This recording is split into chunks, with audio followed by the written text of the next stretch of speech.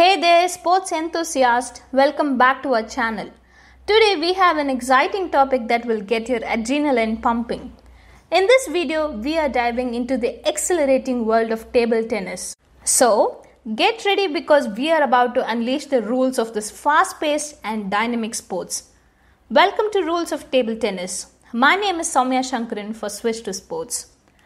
Let's start with the first step of table tennis, which is all about serving. Picture this you stand behind the end line, gripping your paddle, ready to launch that ball into action. The key is to toss the ball at least 16 centimeter, which is 6.3 inches, into the air and strike it so that it gracefully bounces on your side of the table and then crosses the net, finding its landing on the opponent's side. But remember, the serve must originate behind the end line and the ball must bounce on both sides of the table. It's the perfect opportunity to set the pace for an intense match. Now, let's talk about the next rule, which is about the scoring. In table tennis, games are played to 11 points. After every 2 points, the player switches roles as a server. However, things get more intense when the score reaches 10 for 10, as a 2 point lead is required to win the game. Talk about a nail biting finish at this stage. So, Precision, strategy, and a little bit of luck are essential in securing those crucial points. Next up, we have the return and the intriguing double bounce rule.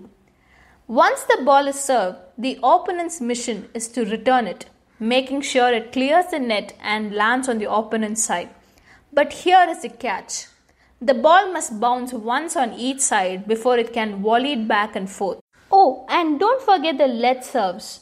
If the ball hits the net during a serve and still makes it to the other side, it's called a let, and the serve is replayed. Keep your eyes peeled for those sneaky let serves. It's time to determine who claims the glory point by point.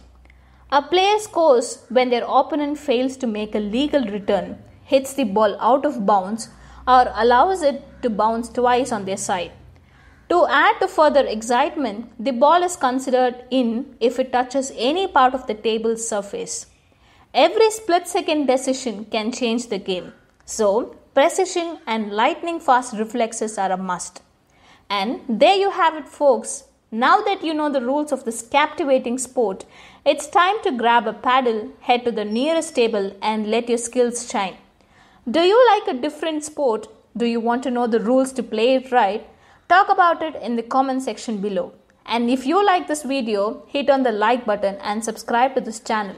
Until next time, stay tuned to Switch to Sports.